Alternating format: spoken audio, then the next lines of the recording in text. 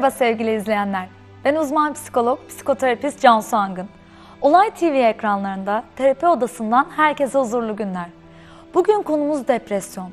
Özellikle nedir ne değildir ele almak istedim bu hafta. Tedavi kısmını diğer haftaya bırakacağız. Sadece depresyonu tanıyacağız ve aslında tedavi de fark ettirmeden başlamış olacak. Neden çözümden önce depresyon kavramını konuşacağız sorusuna bir açıklama şöyle yapılabilir. Tanımadığımız ve ne olduğunu bilmediğimiz bir şeyle nasıl mücadele edeceğimizi bilebilir miyiz? İşte o yüzden depresyonu tanıyacağız. Danışanlarından biri nasıldı biliyor musunuz? Biz buluştuğumuzda şöyleydi. iki yıldır depresyon hastasıydı ve yoğun çökkünlüğün içindeki hayatının iki yılı.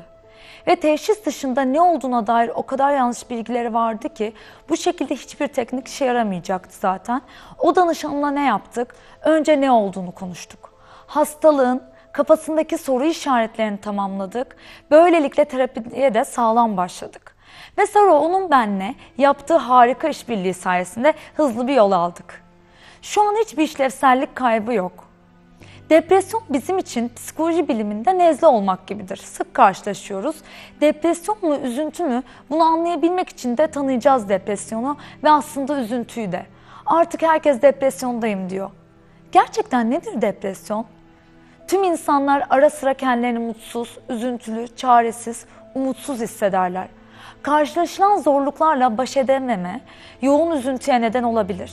Hayat da bir mücadeledir ve birçok üzücü olaylarla karşılaşılması normaldir. Ancak kişide bu mutsuzluğun, çökkünlüğün uzun sürmesi ve yaşamı olumsuz etkilemesi depresyon olarak tanımlanır. Düşünce, duygu ve davranışları olumsuz etkiler. Hayatımızın etkin bütün alanları bloke olur. Çöküntüye uğrar.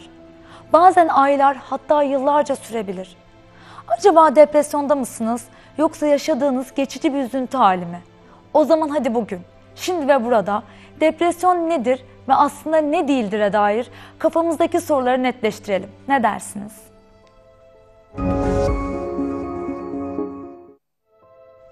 Evet değerli izleyenler, bugün terapi odasında yine sizden gelen merak edilen soruları psikolojik altyapıyla cevaplandıracağız. Bakalım bu hafta konumuz olan depresyon nedir'e dair nasıl sorular sorulmuş, neler merak edilmiş. Ben de sorularınızı yanıtlamak için merakla bekliyorum. Arkadaşlar veteriyi verelim lütfen. İlk sorumuz gelsin. Buyurun arkadaşlar. Depresyonda olduğumu nasıl anlayacağım? Depresyonun belirtileri nelerdir? Teşekkür ederiz. Depresyonun belirtileri aslında isteksizlik, hayattan zevk almama, içinden bir şey gelmeme hali depresyonun ilk tanımı. Yani bu bir hastalık hali aslına bakarsanız ve serotonin hormonunun düşmesi de diye adlandırabiliriz ama daha çok davranışsal septomlarla yani belirtilerle bunu anlayabilmek daha iyi sisteme oturtmamız için yarar sağlayacaktır. Ben melankoli, çaresizlik, motivasyonsuzluk diyorum bu üçlüyü MÇM.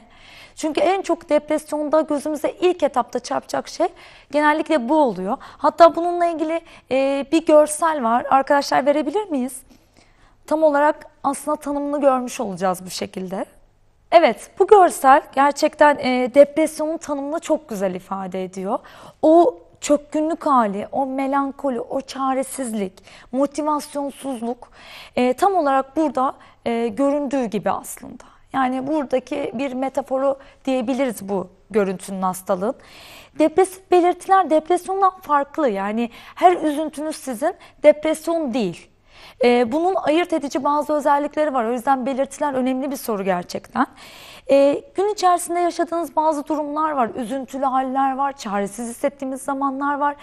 Her durum depresyona işaret olamaz. Tam olarak bu görselde hissettiğiniz gibi hissettiğiniz durum depresyondur. Yani e, aslında bütün bu aktiviteleri artık yapamama halinin çaresizliğinin adıdır. E, toplumda çok sık görülen bir e, hastalık. E, dolayısıyla ama biraz üzüntülü halle depresif hal birbirine e, karıştırılıyor. Depresyon tam olarak tanımlanamıyor. Bir sayalım. Daha çok bu 9 belirtiyi sayalım, ana belirtiyi sayalım. En güzel böyle olacak. İsterseniz görseli alabiliriz. Biz belirtileri şöyle sayalım. Her gün gün boyu süren depresif duygu durum. Bu ilk belirtilerimizden biri. Yani üzgün, boşlukta hissetme, ağlamaklı bir görünüm. Görünümü de hemen gösterelim mi? Bir tane daha görselimiz vardı. Nasıl bir görüntü acaba? Ee, verirsek o görseli. Tam olarak böyle. Yani o artık e, M şeklinde surat ifadesini görüyor musunuz? Depresyondaki kişi yani bu hafif üzüntü, depresif belirti değil. Gerçekten majör büyük bir depresyon yaşayan kişi böyle bir sistemde gözükür. E, bu görüntüyü görürsünüz gerçekten. Boşlukta hissetme ve çaresizlik hali. Her gün gün boyu süren etkinliklerde ve ilgide azalma. Bu görselimiz kalsın. Belirtileri bu şekilde sayalım. Etkinliklerde ve ilgide azalma, eskisi kadar zevk alamama. Yine görüyor musunuz e, bu görselde bunu? Ve önemli derecede kilo kaybı veya kilo alımı, bunlarda farklar olabilir. Bunların farklarından bahsedeceğim. E, uykusuzluk ya da aşırı uyuma, farkındaysanız zaten ya çok ya da az şeklinde gidiyor. Bu kişisel farklılıklar olabilir, anlatacağız onları. Psikomotor yani e, ajitasyon, huzursuzluk hali. Sürekli bir huzursuzluk hali var. Ee, burada da görülüyor. Ve davranışlarda aşırı artma ya da gerileme. Yine iki ucu yaşayabiliriz burada. Dikkat edelim. Yorgunluk, bitkinlik, enerji kaybı. Yine görüyoruz burada. Görüyor musunuz? Ne kadar çaresiz ve bitkin ve enerji kaybını burada bu görselde görüyoruz. Düşüncesini yoğunlaştırmada azalma veya kararsızlık. Yine çok kararsız bir görüntüdür bu. Yineleyen ölüm düşünceleri intiharla ilgili majör depresyonda yani ilerleyen durumlarda bunları görebiliriz. Her zaman görülecek diye bir şey yok. Bu size saydığım 9 belirtinin 15 gün boyunca olması, 2 hafta boyunca olması ve bunlardan en az 5 tanesinin olması gerekir. Hepsini yaşamanız gerekmiyor. Sadece 5 veya daha fazlasını yaşarsanız bu belirtilere e, baz alarak depresyon tanısını koyabiliyoruz. Ee, ama zannetmeyin ki 9'unun 9'da olmak zorunda. Ama bir fark var. Ne biliyor musunuz? 15 gün boyunca olması gerekiyor. Yani 2 hafta bizim kritik noktamız. Yani bütün bunları yaşarsınız. 5 veya daha fazlasını yaşarsınız ama 3 gün yaşarsınız bunu. Bir e, hayat akışında bir üzüntülü durum olmuştur. Bunu yaşarsınız ve bu biter. 3 gün sonra. Yani 3 gün depresyona girdim sonra çıktım böyle bir şey yok. Lütfen yanlış e, bu konuda kulak aşinalığınız olabilir. E, bu konuda yanlış bilgiler var. Böyle bir şey yok. 2 hafta e, mutlaka sizin sisteminizde olsun. Bunu lütfen unutmayın. E, dediğim gibi bu belirtinin hepsi de olmayacak. 5 e, veya daha fazlası olabilir. Ee, biraz toparlarsak ne hissediyoruz aslında? O üzgün hali hissediyoruz. O çaresizliği, o boşluktaki hali, uyku ve yemekteki sistemlerin bozulması, konsantrasyon bozukluğu, yani dikkat eksikliği devrede olur. Çünkü artık işlevsellik kaybı olması gerekir. Bizim bu belirtiyi gerçekten depresyon olarak sistemi kurmamız için. Yalnızlık olabiliyor. Yalnız kalma isteği, o boşluğun getirdiği bir şey. Yoğun baş ağrıları yani fizyolojik etkiler olabilir. Bazısında karın ağrısı, e, bel ve sırt ağrıları yani fizyolojik belirtiler eşlik edebilir size. E, bu bedensel belirtiler içerideki sıkıntılı halin bedene yansıması. E, bunu bilmek gerekiyor ve belirtilerin iki hafta sürmesini tekrar tekrar söylüyorum. Peki diğer sorumuzu alabiliriz. Cansu Hanım, Depresyonun nedenleri nelerdir? Depresyona neden girilir? Teşekkürler. Teşekkür ederim. Depresyona neden gireriz? Güzel bir soru. Ee, Birçok sebebi olabilir ama tek bir nedeni var mı sizce? Tek bir nedeni yok. Ee, ama işte bir neden nedenler sayalım dersek, e, biyolojik faktörler var, psikolojik faktörler var, e, sosyal faktörlerin etkileşimi yoğun olabilir burada. E, ya da bütün bunların birleşimi yani biraz biraz hepsinden e, almamız sonucunda e, bu durum ortaya çıkabilir. Ama tek bir nedeni yok. Yani şunu yaparsanız mutlaka depresyona girersiniz gibi bir bilgi yok elimizde ve bu her insana karşı değişen bir şey. Yani bireysel de değişebilen bir şey. Ama e, benim klinikte gözlemlediğim kendi e, klinik psikolojide gözlemlediğim danışanlarımdan şöyle bir durum var. Onu uyarmak isterim ertelenen depresyon yani size sinyaller gelmeye başlıyor. Siz bu sinyalleri almıyorsunuz ve bununla ilgili herhangi bir şey yapmıyorsunuz. Yani bu sistemi kıracak. Yani tam depresyona girme durumundan o önceki dönem var. İşte onu kıracak hiçbir şey yapmıyorsunuz ve biliyor musunuz bir ay sonra depresyondasınız. Çünkü e, bunu engelleyici, bu sinyalleri engelleyici hiçbir şey yapmadıkça sistem gittikçe aşağı doğru devam ediyor. Yani sabit kalmak veya yukarı çıkmak eğer siz hiçbir şey yapmıyorsanız bununla ilgili çok mümkün değil. Buna lütfen dikkat edelim. Yani sinyaller geldiğinde engellenmezse yaklaşık 4 hafta sonra depresyonun bu saydığım belirtilerini yaşayarak sistem olarak bu hastalığa yakalanabilirsiniz. Onu unutmayalım.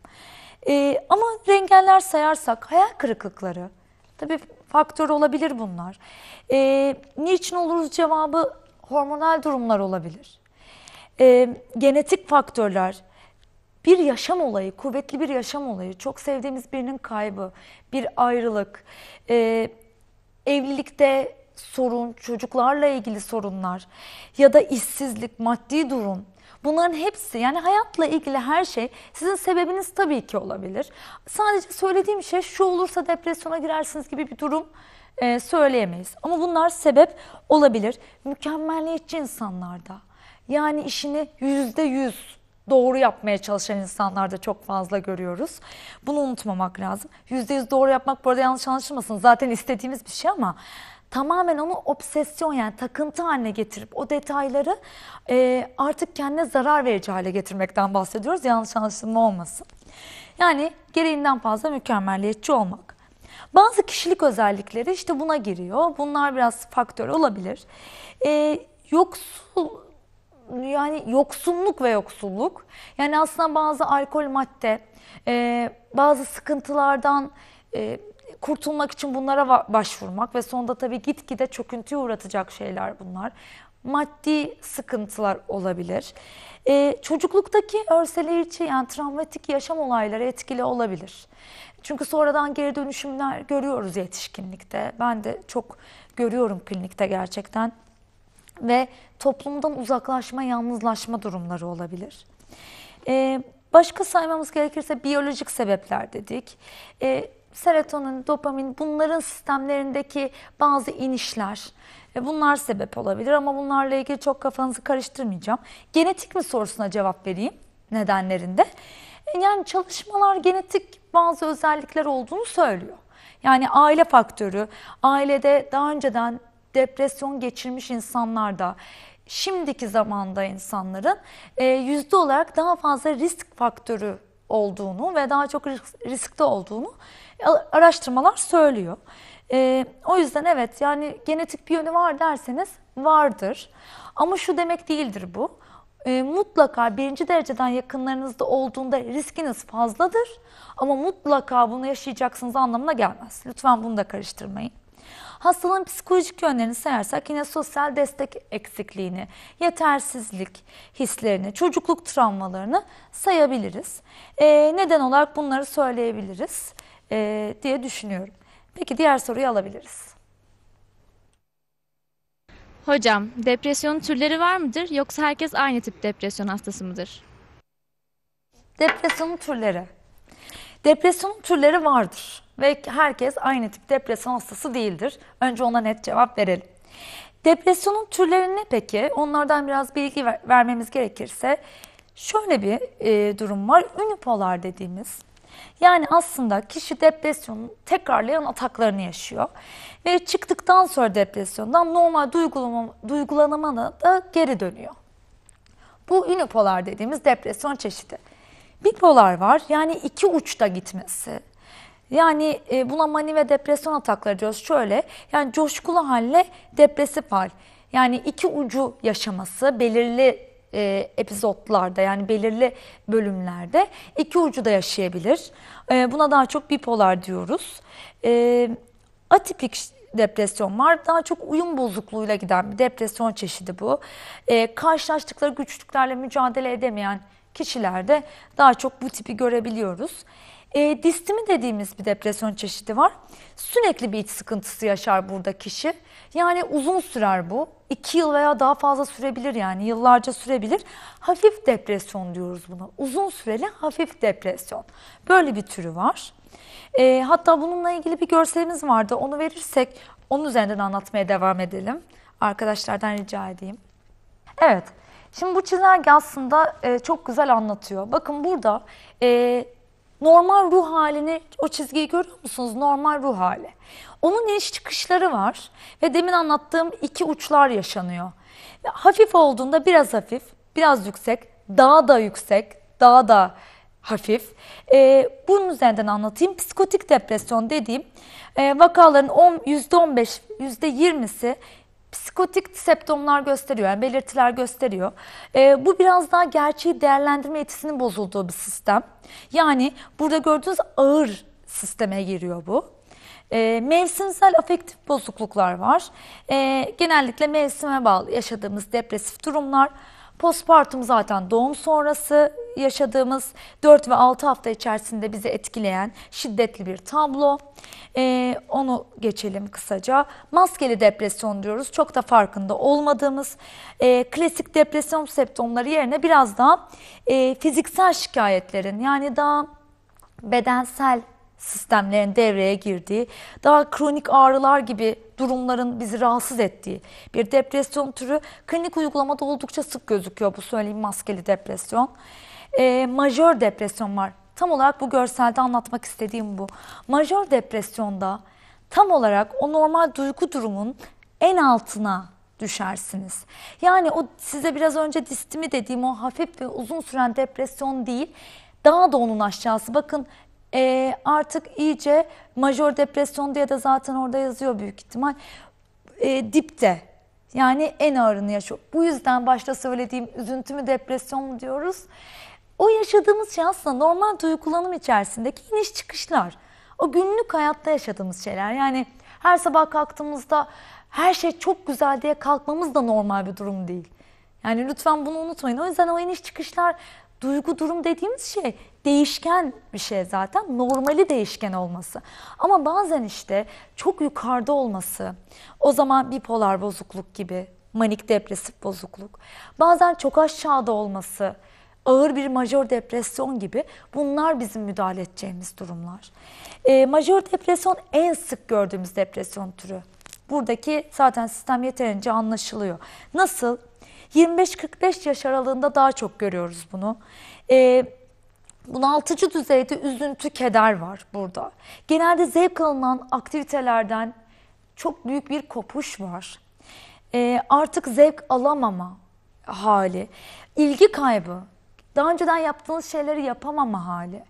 E, hatta işe gidilemediğini görüyoruz burada. Okula gidilemediğini, iş kayıplarının olduğunu, evliliklerin bittiğini. Böyle bir isteksizlik halinden bahsediyoruz. Yani canımızın sıkılması gibi bir şey değil.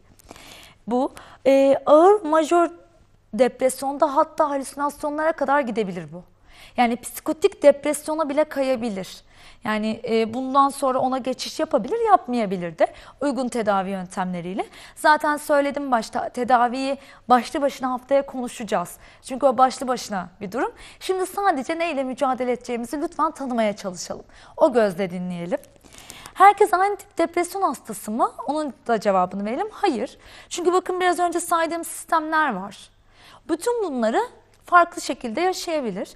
Ve bunların hangisinde yani depresyon kalıbı olduğunda klasik bir depresyon kalıbı yok. Hangisinde olduğunu zaten tespit edeceğiz ve buna yönelik sistem kuracağız.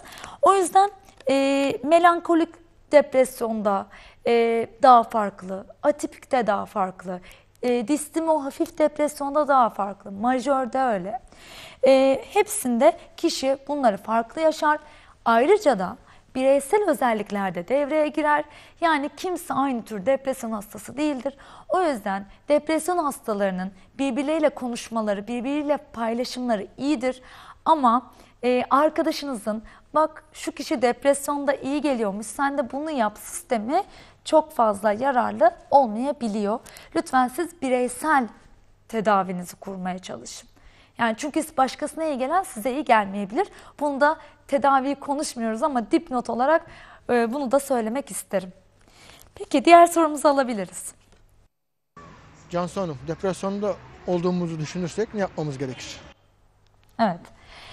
Depresyon olduğum, olduğumuzu, depresyonda olduğumuzu düşünüyorsak ne yapmalıyız? Gerçekten güzel bir soru aslında. Ee, ama şöyle yapalım mı bunu? Bir videomuz var. Ee, bir videoda bakmanızı istiyorum. Bakalım videodaki kişi ne yapmış? Ondan sonra biz üzerine konuşalım. Arkadaşlar verebilir miyiz videoyu? I had a black dog. His name was Depression. Whenever the black dog made an appearance, I felt empty and life just seemed to slow down. He could surprise me with a visit for no reason or occasion. The black dog made me look and feel older than my years. When the rest of the world seemed to be enjoying life, I could only see it through the black dog. Activities that usually brought me pleasure suddenly ceased to. He liked to ruin my appetite. He chewed up my memory and my ability to concentrate. Doing anything or going anywhere with a black dog required superhuman strength. At social occasions, he'd sniff out what confidence I had and chase it away. My biggest fear was being found out. I worried that people would judge me. Because of the shame and stigma of the black dog, I was constantly worried that I'd be found out. So I invested vast amounts of energy into covering him up. Keeping up an emotional lie is exhausting. Black Dog could make me think and say negative things. He could make me irritable and difficult to be around. He would take my love and bury my intimacy. He loved nothing more than to wake me up with highly repetitive and negative thinking. He also liked to remind me how exhausted I was going to be the next day. Having a black dog in your life isn't so much about feeling a bit down, sad, or blue. At its worst, it's about being devoid of feeling altogether. As I got older, the black dog got bigger and he started hanging around all the time. I'd chase him off with whatever I thought might send him running. But more often than not, he'd come out on top. Going down became easier than getting up again. So I became rather good at self medication, which never really helped.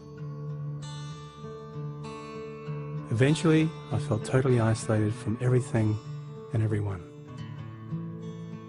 The black dog had finally succeeded in hijacking my life. Güzel bir video bu. Tam olarak ne yapmışın cevabı aslında. Ne yapmaya hazırlanıyor'nun daha büyük bir cevabı. Ee, o yüzden bu videoyu sizle paylaşmak istedim. Ee, burada depresyonu tanımanızı istiyorum. Tanıyalım istiyorum. O yüzden şu an ekran başında da bu durumu, biraz önce videodaki durumu, Aa, ben gerçekten bunu yaşıyorum işte, bunu nasıl çözeceğim, ne yapacağım diyen çok insan var.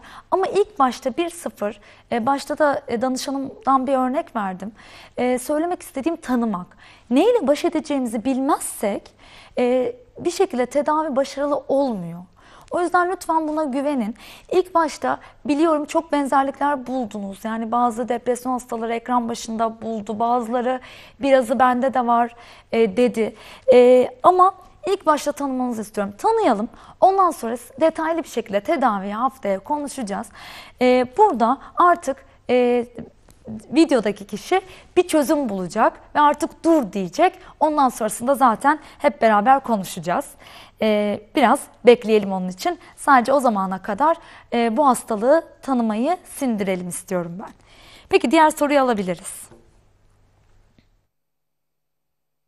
Hocam depresyon daha sık kimlerde görünür? 2020 yılında dünyayı en çok etkileyecek ikinci hastalık depresyon olacakmış. Yapılan araştırmalar bunu söylüyor biliyor musunuz? İnanılmaz bir oran bu. Ee, ve yani 2020'ye de e, çok fazla bir zaman yok gerçekten. E, Dünya Sağlık Örgütü bu araştırmayı yaptı. E, o yüzden 121 milyon kişi etkileniyor depresyondan tüm dünyada. E, kabaca bakarsak e, genellikle genç yaşlarda ortaya çıkıyor ve her 6 kişiden biri depresyonda. Sistem bunu söylüyor bize. O yüzden daha sık kimi etkiliyor? Bunu bilmek önemli. Ee, birkaç sistem sayalım bununla ilgili. Önce bir cinsiyet faktörünü sayalım. Kadın erkek. E, bu çünkü çok fazla soruluyor. Daha çok kadınlar etkileniyor. Evet. E, erkeklere göre iki kat daha fazla etkileniyorlar. Sebepleri ne? E, Birçok sebebi var. Hormonal durumlar var. Kadınların üzerindeki bazı e, farklı roller var. Annelik rolü, kadın olmak, iş hayatı, belki iş hayatındaki e, ünvanı neyse o. Çok fazla üzerinde yük e, ve model var. E, bunun bir sıkıntısı. E, buna daha çok yatkın ve risk faktörü olabilir.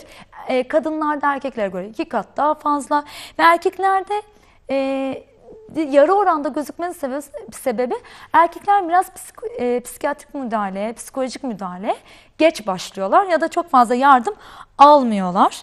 E, bu yüzden depresyonlar e, yaşamaları daha az gibi gözüküyor. Bunu da söyleyeyim. E, yardım aramaları erkeklerde daha az. Kimler daha fazla cin- e, risk altındadır? Kadınlar dedik. Ee, yaşla arttığı düşünülüyor ama genç kısımda da artık çok fazla gözüküyor. Ses, sosyoekonomik durum önemli. Aile öyküsü, genetik faktörden bahsettik. Yüzde olarak yüzde yirmilere çıkabiliyor yüzde yedilerden genetik faktör. Medeni durum, evliler daha az depresyona giriyor. Bu da sosyal destek iyi olması anlamına geliyor. Ee, bunun gibi genel bir çerçeve sunabiliriz bu sorunun cevabı için. Peki diğer sorumuzu alabiliriz. Cansu Hanım, depresyona eşlik eden hastalıklar var mı? Depresyona eşlik eden hastalıklar şöyle. Zaten kronik birçok rahatsızlığımızın içinde depresyon %25 ile %50 oranında eşlik ediyor. Yani çok fazla e, eşlik ediyor. Eşlik etme sıklığı çok yüksek. E, ama neleri sayabiliriz? Psikiyatrik bozukluk olarak neleri sayabiliriz? Bakalım. Anksiyete bozuklukları, çok fazla içinde görüyoruz. Obsesif kompulsif bozukluk, şizofreni, yeme bozuklukları. Bizim sistemimiz e, piramit böyle gitmez bizde. Şu şekilde gider.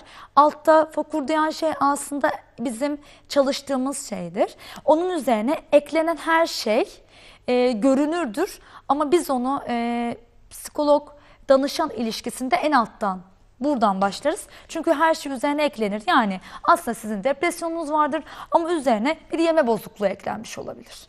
Biz bu sefer depresyonla çalışırız. Çünkü yeme bozukluğu da zaten onun gidişatında yaşattığı bir şeydir. Kronik hastalıklarda eşlik edebilir. Yani depresyon yok. Bizim kronik bir rahatsızlığımız var. Kalp rahatsızlığı, kanser gibi, şeker rahatsızlığı gibi, Parkinson gibi. O zaman gerçekten bizim böyle bir hastalığımız var. Ona depresyon eşlik edebilir. Bu şekilde de gözükebilir. Eşlik etme oranı çok çok yüksek. Onu söyleyeyim.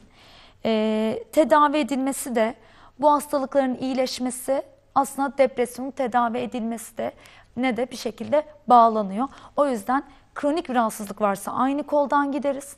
Ama eşlik eden psikiyatrik bir bozukluğa eşlik ettiyse daha çok depresyonla uğraşırız. Ee, onu söylemek gerekir. Peki diğer soruyu alabiliriz. Depresyonda fiziksel şikayet olabilir mi? Fiziksel şikayetler olabilir. Hatta olur. Şöyle karıştırırız biz onu. Bedensel bir rahatsızlık yaşarız. Sırt ağrısı, bel ağrısı, baş ağrıları, kuvvetli baş ağrıları. Ee, bunları yaşarız ve doktor doktor gezeriz ve bu bedensel, fiziksel sıkıntımızdan bahsederiz. Doktor da bize der ki genellikle bir şeyiniz yok der. Ee, biz de bununla canımız sıkılır yani bir şeyimiz yok değil gerçekten benim ağrım var. Peki nasıl olur? Genellikle şöyle yönlendirmeler ol- oluyor. Bir şeyiniz yok psikolojikmiş diyorlar. Şimdi bu yanlış bir cümle çünkü işte bir şey var ama zannettiğiniz gibi bir şey yok. Ee, böyle söyleyince çünkü huzursuz hissediyor karşı taraf. Yani yaşadığınız bedensel sıkıntı, sırt ağrısı bir bel fıtığından ya da bel ağrısı bir bel fıtığından kaynaklanmıyor demek bu. Yaşadığınız depresyonun e, bedene yansımasından kaynaklanıyor. Yani diyor ki depresyon. Aslında depresyon hastalığınız var ve o size diyor ki sıkıntı var. Bunu düzelt diyor. Size sinyal veriyor. Yani bir yerinizi ağrıtarak başınızı, sırtınızı, karnınızı, bacağınızı, kolunuzu bir yerinizde ağrı yaratarak ve bunu gerçekten yaşıyorsunuz onu söyleyeyim. Yani gerçekten o karnınız ağrıyor. Altyapısı psikolojik oluyor. Diyor ki artık bununla ilgili bir şeyler yap. Zaten videoda da ne kadar sıkıntılar yaşıyordu görüyor muydunuz? Ne kadar sıkıntılar yaşadı ve artık bir şeyler yap dedi. Beden dedi, zihin dedi ve artık çare arama eylemine girecek. Ee, o yüzden e, bunu lütfen unutmayın. Bedensel sıkıntıların kaynağını bilmek önemli. O yüzden bir şeyiniz yok. E, orada yanlış bir cümle. Ve çünkü öğrenilmiş çaresizlik oluyor burada. Ve öğrenilmiş çaresizlik sonucunda da kişi artık böyle kal kalacağım ben diye tedavi yoluna da girmiyor. E, bu bizim için üzücü gerçekten. Bu haftada terapi odasında cevaplar son buldu. Umarım faydalı ve de keyifli geçmiştir. Yine psikolojinin etik sınırlarını ve insana odak noktası alarak sorularınızı yanıtlamaya çalıştık. Her zaman söylediğim gibi ruh sağlığı söz konusuysa eğer ve psikolojik desteğe dair işbirliğimiz başlayacaksa sizi biz psikologlarla buluşturan ilk yol doğru bilgiyi almanızdır. Depresyon renklerinin hiçbirine ait değildir. Hiçbir rengin farkında değildir. Sahiplenemez maviyi, yeşili, kırmızıyı. Depresif kişi çevreyi bu şekilde renksiz görür.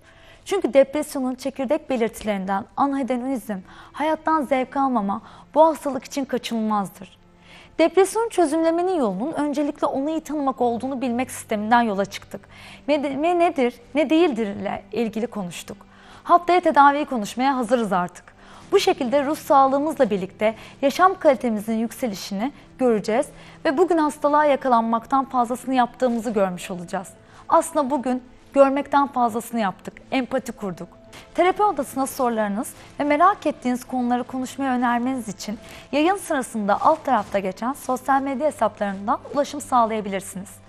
Koruyucu ruh sağlığının rengi mavidir. O yüzden size mavi ve huzurlu günler diliyorum. Hatırlayın lütfen, iyi hissetmek mümkün. Görüşmek üzere.